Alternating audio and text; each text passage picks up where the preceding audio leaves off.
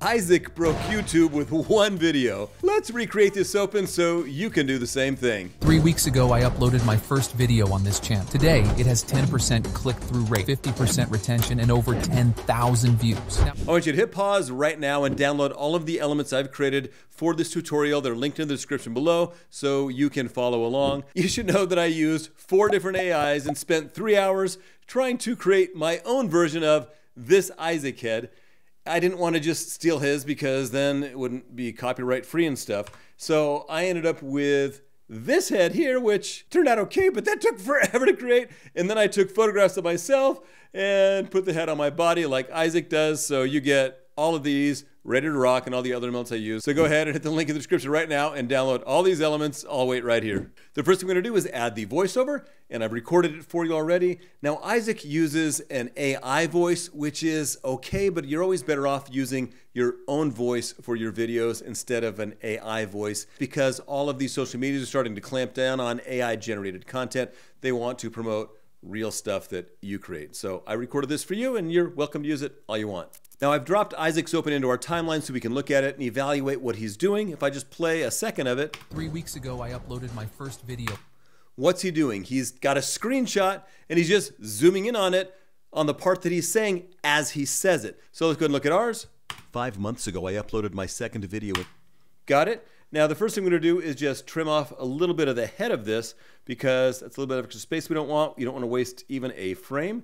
And then we're going to take the first graphic, which is my channel in 2023. So this is five months ago.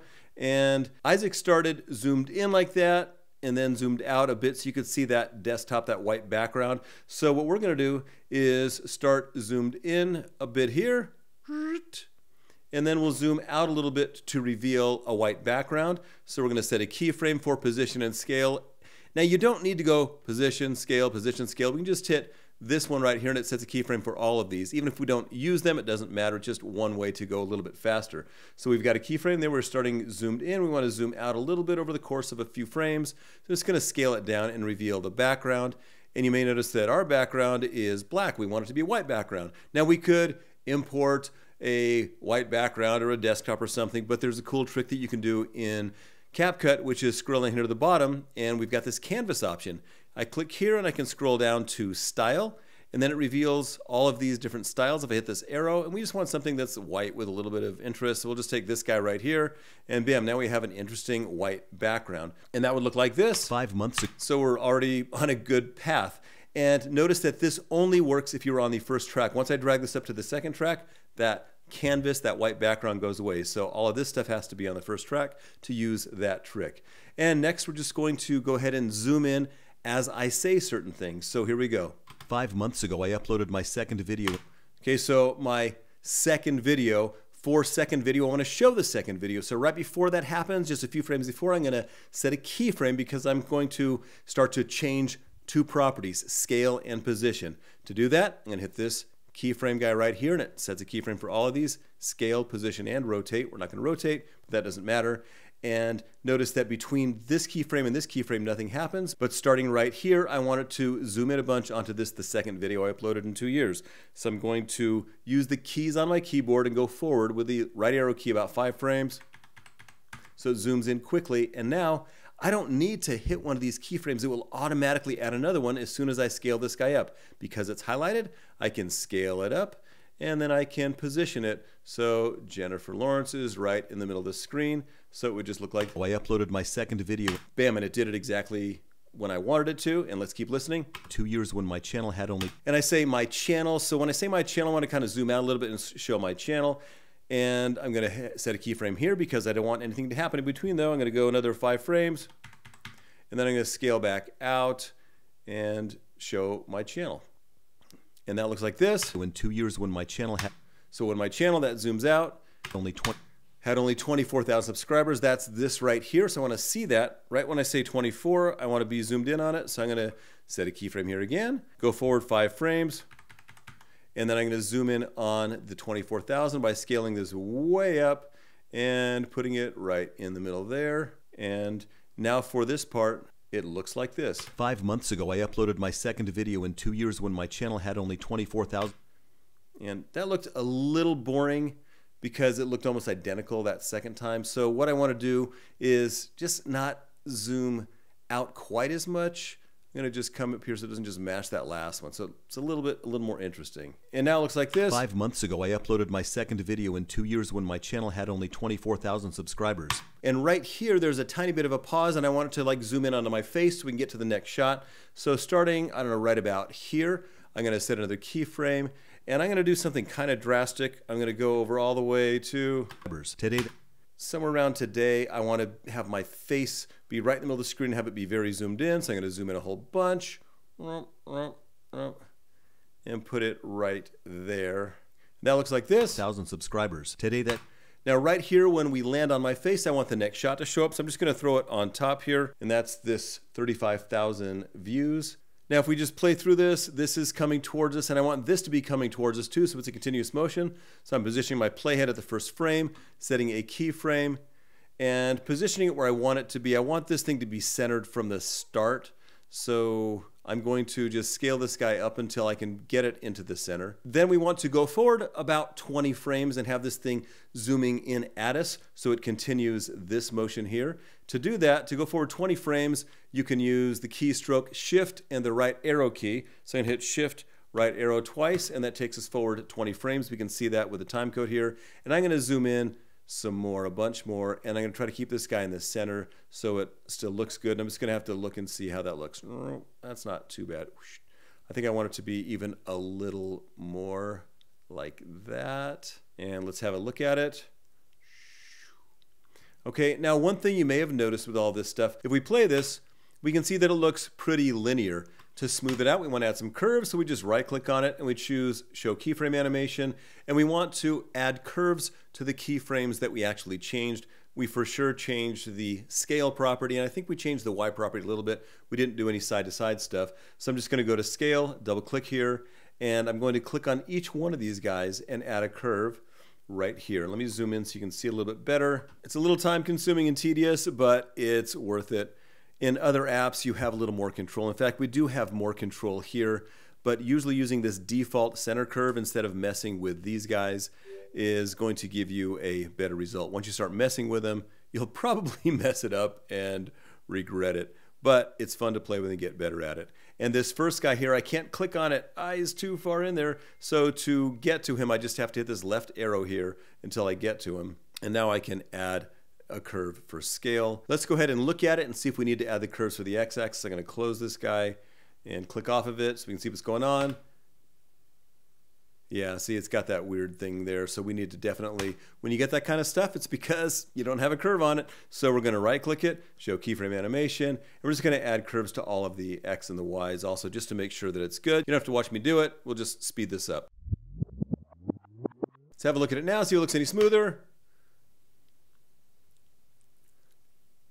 Yeah, I think it looks looks fine. Now right here where these two connect, you know, that's an okay transition because we are zooming in and we keep zooming in. It looks pretty natural, but we can make it better. To do that, I'm just going to trim off a little bit of this, bring this guy down to this track, and add a transition that works like a zoom called pull in. It's going to drag it right here. It's set for, when I click on it, I can see that the duration is a half a second, which might be fine. You'll also notice that it added motion blur. The prior version of CapCut, 3.3.0 on a Mac, had motion blur over here under Video Basic. It had motion blur down here. That's gone. It wasn't working great. It was broken. They took it away. Hopefully they'll fix it. They do have some motion blur filters but they're not great for what we're doing. I've messed with them and all of them have some issues. So we're just gonna kind of skip motion blur except when we get it for things like this. And let's see how it looks. Now that looks pretty good. The only thing we're lacking are the curves for this. I'm just gonna add some curves on this guy. You don't have to watch. Let's have a look at this. I think that looks pretty good.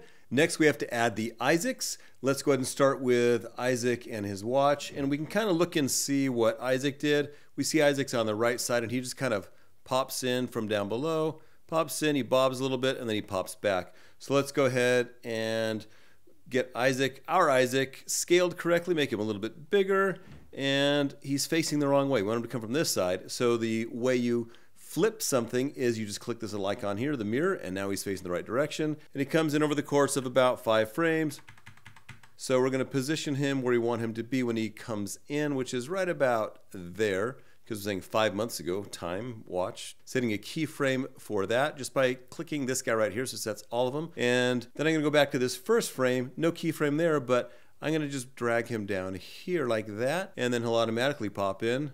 Five months ago, I uploaded my. So right before that pops up, I want him gone already. So right about here, I'm gonna set another keyframe, and then I'm just gonna move him back. One, two, three, four, five, and have him just peel off the screen like that and he'd look like this. Five months ago, I uploaded my second video. So that that's not bad, but five months ago, I uploaded my set. But he was kind of bobbing and stuff. Now we could have keyframes and have it moving back and forth, back and forth with keyframes. It doesn't always look great and it's kind of cumbersome. The thing that is really easy in CapCut is we can add a little of that motion, that bouncing stuff by just clicking on effects and using my favorite effect, which is rebound swing and you know turn the speed down and this little bit and it just makes him look a little more natural. And I'm also going to smooth out those keyframes by adding curves. So this is the last time you see me do curves today but just so you get it right click show keyframe animation and then just add curves for each of these properties that we actually touch. We don't mess with scale in this one but we do mess with the X property so one. Now with the rebound swing and the curves added it looks like this. Five months ago I uploaded my second Bam. And I'm going to do the same thing one more time for the next Isaac, and then you can do the rest yourself. So watch this one. And months point, ago, I uploaded my second video. So my that's my second video. I'm going to point at it. So I'm just going to over here to media and look for Isaac pointing. And right as it's scaling up, I want that Isaac to pop off and the other one to pop on. So I'm going to find that frame using the arrows, and that's right when he's starting. So I'm going to add Isaac popping on here, go forward about five frames. And five isn't a magic number, it's just kind of the one I use, five or six. It seems to work pretty well. And I want him to be pointing. I want him to end up where he's going to be. So he's going to point to that video. That looks pretty good. I like my Isaac's green eyes. What do you think? He's pointing at that video. Maybe make him a tiny bit smaller. That looks pretty great. I think I want him to end up there. So I'm going to set a keyframe and move him back, or move the playhead back five frames, and get him off the screen. If I hold down the shift key when I drag him, he's going to stay parallel. He won't go up and down so much unless you push really hard. So let's try this. Five months ago, I uploaded my second video in. And that's that's kind of great. And let's figure out where he ends. Second video in two years when my. And I'll have him just fly off the screen right about there. So I'm going to set another keyframe here. Bam. One, two, three, four, five. And hold down the shift key and drag him to the right. And now he's gone. Let's see how that looks, and I don't really need this guy anymore there. So we'll just play that. Five months ago, I uploaded my second video in two years when my channel had only. What does it need to look a little more natural? It needs curves added, and it also needs rebound swing. So I'm going to add rebound swing for you by clicking on effects, and I've saved it. If you can't find it, go up here and type rebound swing, and I'm going to add it, and then just going to tweak it a little bit, speed there, size there, just so it's not just like the other one. And on my own, I'm going to add the curves, and then show what it looks like. Let's see what that looks like now. Five months ago, I uploaded my second video in two years when my channel had only 24,000 subscribers. The other thing that Isaac adds are some sparks. Now, we've got some sparks just built into CapCut. We've got these called Sparks 2. If you don't see them, I've, I've favorited them. You can scroll down and find them or just type Sparks 2 up here and it should pop up. And the sparks were in between Isaac and the screenshot. So I'm just going to drag the sparks in between Isaac and the screenshot and and yeah, if we just let him go that duration, probably looks good. Let's see it. Five months ago, I uploaded my second video in two years when my channel had only 24,000 subscribers. If you think this is cool so far, go ahead and hit that subscribe button and tap that bell so you're notified when my next video comes out. Right now, I'm going to add some music, sound effects, and kind of add the rest of the Isaacs in myself.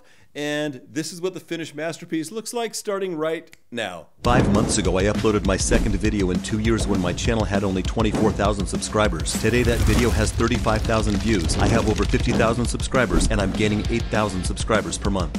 If you want to break YouTube with one video just like Isaac, you gotta learn how to edit. Once you have mastered CapCut, you can look at a video like Isaac's and break it down and figure out on your own how to do stuff like we just did. So, you know, click this link right here over Peyton's head or click the link in the description so you can master CapCut. It is by far the fastest path to breaking YouTube.